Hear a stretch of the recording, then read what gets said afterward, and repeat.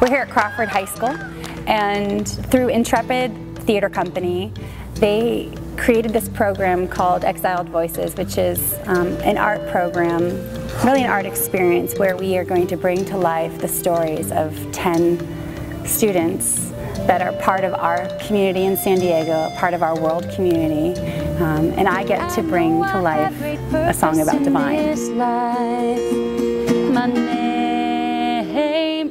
I arrived in San Diego from Africa, Mozambique um, in July 31st, 2013. Crawford is a diverse school in, in San Diego especially.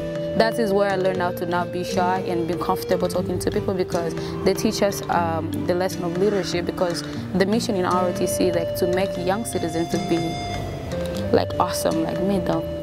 After high school, I'm planning to go to college, meet up my goals and my dreams because I've always, I always dream about coming to US and my dream is becoming an ambassador for my country.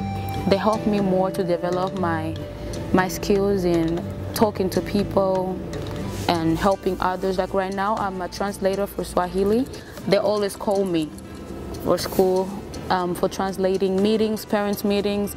They have helped us to open our hearts and open our minds and to really see things from a perspective of that we're all humans and um, and we want to usher that story in.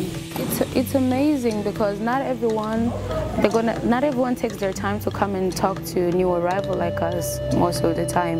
It's really it's like they're making us to feel special. They bring food for us, everything for us, and they're even they even take their time to come and make a song for us. This is something that no no one else will do in life.